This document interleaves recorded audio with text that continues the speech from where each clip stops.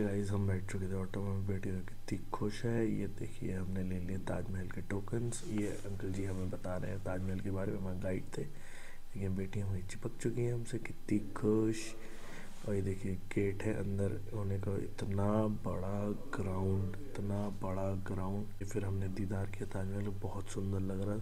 फिर इसने अपनी बुआ के साथ खिलाई पिक्चर फिर इसने अपनी कराई पिक्चर देखिए कैसे ने पोजेस दे रही थी, बहुत ही सुंदर बुआ मम्मी दोनों की सपोर्ट।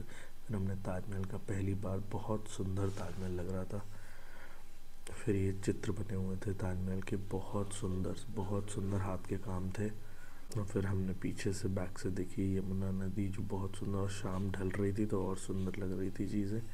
फिर हमारी भेड़ी थक चुकी है वहीं फैल हुई निकलनी थी हमें नी नी चलिए वापस अगले ब्लॉग में। Bye bye